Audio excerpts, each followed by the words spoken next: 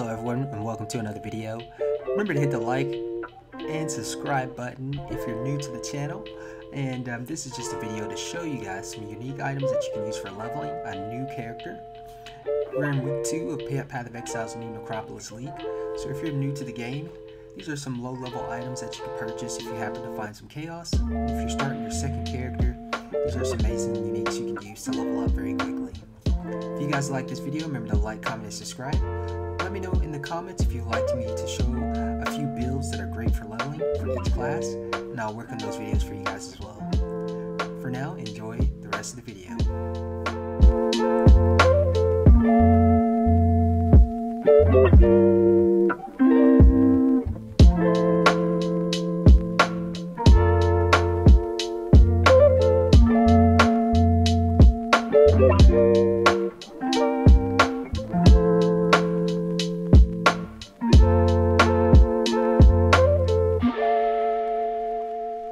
Música